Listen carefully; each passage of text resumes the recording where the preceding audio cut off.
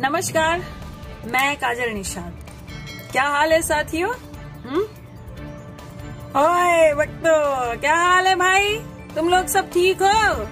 हाँ। सेवा अच्छे से हो रही है तुम लोगों की? हम्म? हम्म सही है, सही। ठीक है, बैठ जाओ बैठ जाओ। बैठ जाओ, आज का प्रवचन सुन लो। बैठ जाओ। देखो अब ये जो इन लोगों ने जो बोया है ये लोग वही खाएँगे।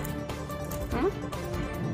जितना भारत के साथ खेलोगे जितना खिलवाड़ करोगे जनता के साथ जनता उसका चार गुना आपको वापस लौटाएगी।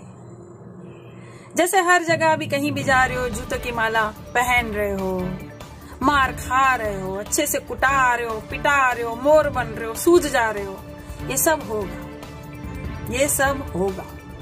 क्योंकि तुम लोगों ने जो खिलवाड़ की शुरुआत की है ना, ये जनता एंड करेगी। तुम्हें ये लगता है कि तुम बहुत तो बड़े महान हो और ज़िंदगी भर के लिए तशरीफ़ रखे हो कुर्सी पर तो ऐसा नहीं होगा। क्योंकि सरकारें बनती है, गिरती है।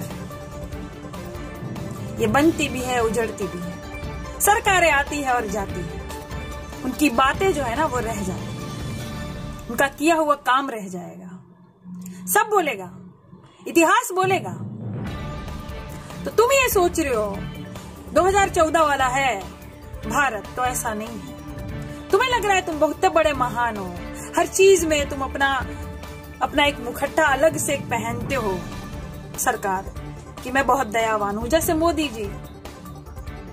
अभी अभी न्यूज़ हमने सुना कि प्रियंका गांधी जी कह रही है, कह रहे, मोदी जी प्लीज़ हमको बंगले में रहने दीजिए प्लीज़ ऐसा न्यूज़ में अफवाह उठ रही है कि प्रियंका गांधी ने कहा कि मोदी जी, हमको बंगले में रहने दीजिए प्लीज़ कृपा करिए. और मोदी जी ने कहा कि, ठीक है ठीक है, मैं बहुत ज़्यादा दयावान हूँ, आप रह सकती हैं, मैडम।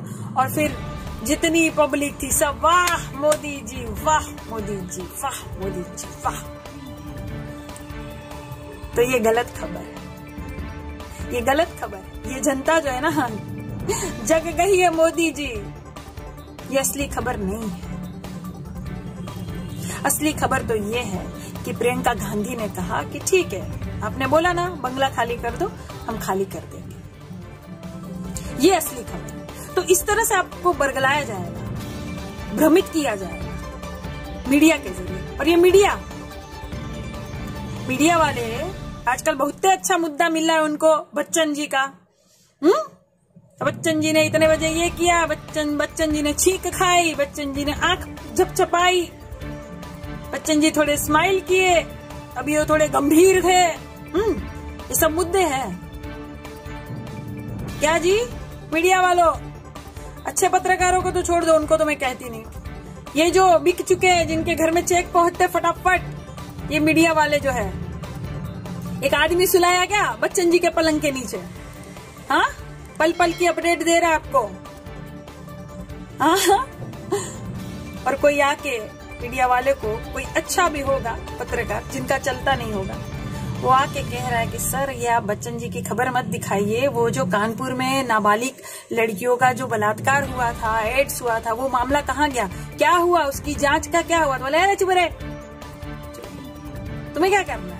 अरे देखिए ब्रेकिंग न्यूज़ बच्चन जी ने तुरंत अभी दो बजकर बीस मिनट पर छींक खाई हाँ? और वहाँ से वो जो बच्चन जी के पलंग के नीचे जो बैठा होता है, नीचे सोया होता है। अरे सुनिए, हेलो हाँ जी हाँ आप एंकर जी, सुनिए, अरे, बच्चन जी का हमको लगता है पेटे खराब है। क्यों, क्या हो गया? पेट कैसे खराब है? अरे, कहा है ना कि बहुत गुड़गुड़ आवाज़ आ रही है और हमको लग रहा है कि कमरा भी एकदम गमगमा गया, हम बेहोश हो जाएँगे। और वहाँ से आप देखिए ब्रेकिंग न्यूज़ बच्चन जी का पेट खराब हुआ है। हाँ हाँ जस्ट अभी अभी देखिए, सबसे पहले हमारे न्यूज़ में ये खबर चली है, बच्चन जी का पेट जो है गुड़ी गुड़ी कर रहा है। ये न्यूज़ है। एकदम बिक गए भारत ये सुनना चाहता है। अच्छी बात है, ठीक है। बच्चन जी बीमार है, आप दिखाइए, ठीक है। हम सबकी शुभकामनाएँ है उनके साथ कि जल्द से जल्द ठीक हो जाए, ठीक है। लेकिन बस यही एक मुद्दा है सिर्फ़ बच्चन जी को ही कोरोना हुआ है। और भारतवासी, और जनता? आठ लाख से ज़्यादा लोग संक्रमित हो गए। कितने डॉक्टर मर रहे हैं? कितने डॉक्टरों को तुमने जेल में डाल रखा है जिनको रिहा नहीं कर रहे? ये सारी न्यूज़, ये जो जनता जानना चाहती है, ये कब दिखाओगे? सिर्फ़ महान बनोगे, झूठ बोल के आईटी सेल लगाओगे? तो बेटा चुनाव आगे और भी आएगा। तुम भी रास्तों में उतरोगे। तुम्हारा चेहरा जनता के एकदम मगज में बैठ गया है। भूलेगा नहीं जनता। वो जो जूते चप्पल रगड़ के बिचारे गए थे, वो भिगो भिगो के जूते भी रखे हैं। जाओ। जाओ। जाओ कैसे स्वागत होता है। क्योंकि